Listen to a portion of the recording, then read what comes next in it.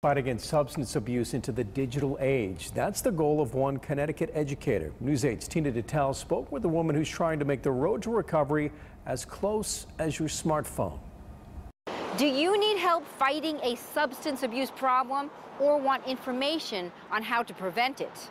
Well, the folks here hope there will soon be an app for that. Substance abuse resources, detox. This is out of Hartford Healthcare. Angela Duhame is a community educator with SERAC, the Southeastern Regional Action Council. We are a nonprofit. Um, and we cover the 20 towns in southeastern Connecticut. She's looking for input from those communities and local organizations to develop an app to help tackle what many consider a heroin epidemic. We're finding 60 and 70 and 80 year olds that are being hooked on this. The app would have three basic tabs. I was thinking like prevention, intervention, and treatment. And would combine resources for substance abuse and mental health services. So that way you can see some of the risk and warning signs.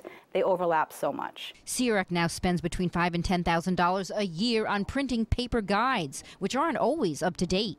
And that's very frustrating for people. Mm -hmm. You give them a resource guide, and then they start going through the list, and they're calling programs that are shut down. Even with the app, it may be hard to have up to the minute updates on bed availability at treatment centers. Still, Duhame is hoping someone who is technologically savvy can help her develop a very advanced app definitely looking for someone that has more knowledge, but also understands too that we're a community nonprofit. Here's a closer look at one of the resource guides. Now, we're told one of the benefits of an app is that it can be more easily updated.